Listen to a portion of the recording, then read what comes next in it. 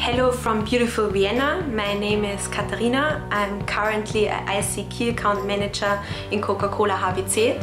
I started my career 2017 as a supply chain trainee and afterwards I did a cross-functional change to our innovation department and I developed uh, in summer 2019 to the Key Account department.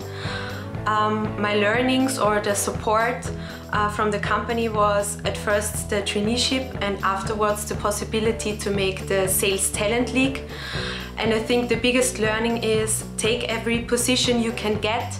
Every position is another milestone and another in insight and um, there are no mistakes, just take your chance.